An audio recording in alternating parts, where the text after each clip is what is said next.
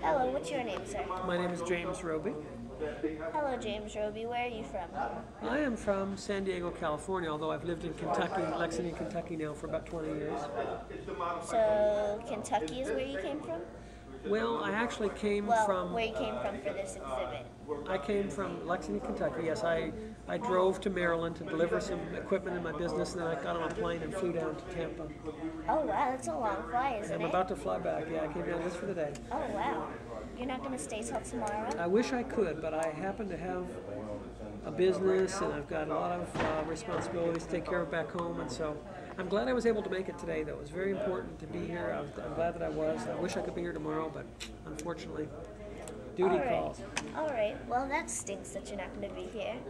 What are you here with? Like, what okay, do you have I came us? with my book, which is the first book that was ever written on the history of turning water into fuel. It's called Water Car: How to Turn Water into Hydrogen Fuel. And as it says here, this book was written as a result of my experience as the curator of the Kentucky Water Fuel Museum. A curator. What is that? A curator is a really important sounding title for someone who turns an old shop into a museum. Okay. So it's a person who gathers exhibits and then presents them to the public. That's a museum curator. Oh, Person who manages a museum.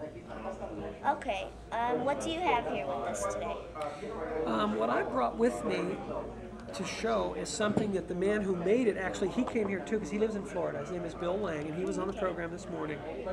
And one of the problems that you face when you make uh, flammable gas from water, when you break water down, you get hydrogen and oxygen. Okay, you get two parts hydrogen and one part oxygen. Right? That's why it's called H2O. And it actually, the molecule might look something like Mickey Mouse's head. You've got a big uh, oxygen atom, and then you got two small hydrogen atoms, like where the ears go. And that's about the way a hydrogen atom or a, a water molecule looks, I suppose.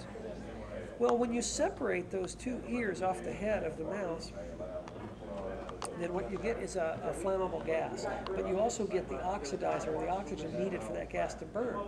So what that means is that if you have, say, a tube, a hose leading from your chamber where you're breaking the water down, you see all these chambers around here people have been showing off, and you have that gas, those two gases flowing together out of that hose, uh-oh, if someone lights that hose or if there's a spark and lights it, because the oxygen is there with the flammable gas, it can come right back and blow up the chamber where you're making it. And I'm talking about blow up like actually send pieces through the ceiling.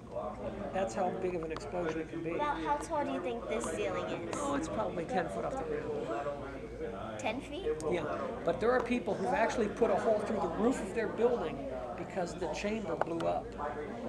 Now, how do you stop that? That's what this is all about. This is all about stopping the explosion. Okay? So let's say, for instance, that you are um, you're driving your car, and you've got hydrogen and oxygen going in, and you're using it as fuel, and then your car backfires, which is that explosion that sometimes happens when a car is going down the road. All of a sudden, you hear this bang, sounds like a gunshot, and it's a backfire. Well, that kind of backfire, if you didn't have a device like this, could go back all the way to the chamber where you're making your gas and cause it to blow up. Wow. Okay? So this is a very important invention, and it actually goes back to uh, an inventor by the name of Nikola Tesla, who was a genius Yugoslavian, I believe, or Serbian uh, inventor who came to the United States in the 1800s. And it was he who was responsible for us having all this electricity because he discovered how to generate AC current, alternating current. And for instance, Niagara Falls is where the first big um, power generating station was put. And it was his work that did that. He's the one who installed it. So helped um, very wealthy man by the name of Westinghouse. So, what is this? Okay, so Tesla actually came up with this this concept of being able to stop that explosion as it's rushing back to the chamber to try to blow everything up that it can. This is like slamming the door shut and keeping it from happening.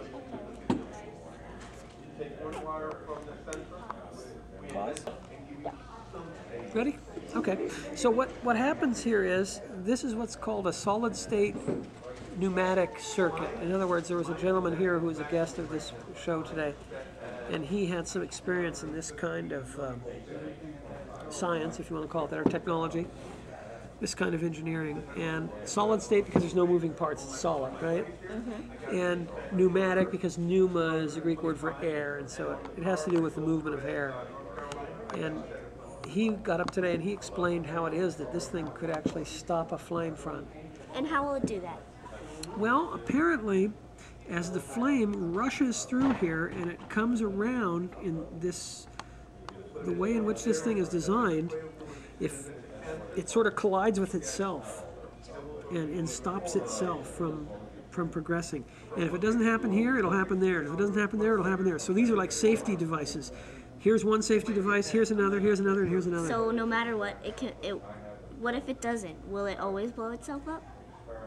Well, we would hope that it would successfully stop it. It would be easy to test. All you have to do is connect an electrolyzer to this, light a match over here, and if it blows up, Then it didn't work. well, what happens is when, when you burn hydrogen and oxygen, when you light it, it gives off a flash. It's not. It's sort of like a firecracker rather than say, um, like if you light, if you pour a little gasoline on the table here and light it, it'll go poof. It won't make a flash of light. It'll make a bright orange flame, right? Because that's what you know the various ingredients in gasoline do. But when you burn hydrogen and oxygen, it makes a flash of light. It goes. And, and you'll probably see it tomorrow if you didn't see it today. You ask someone out there to light some hydrogen, and it'll make a big, loud firecracker sound, and, and it'll oh, be Oh, a I flash of. Light. It actually releases a little bit of electricity too. So what you would see is you'd see that flash coming from here, but for instance, not down here. It would stop it. You could actually visually see it stop the flame front at whatever stage in here it does that at. Okay. So the flame would always go in through this side. Yeah, I think that's the way it's designed. Or no, let's see. It has a direction to it. You want the flame to come back on itself, so I guess you enter it through here because this way it goes back around to itself. Whereas if you entered it this way, it wouldn't do that. No. So there's a direction. It's sort of like if somebody was chasing you and you ran through a doorway and you slammed the door behind you. Then you ran through another doorway and you slammed that door also. And you did it four times. And hopefully they would stop chasing you by the time you got to the fourth door. And that's what these these four stages are. Okay. All right. Well, it was nice meeting you, James. Have a good day. Likewise, and I thank you for having been here to help with this event. Okay. I will see you at the next energy conference. I hope so. Have a good day. You too.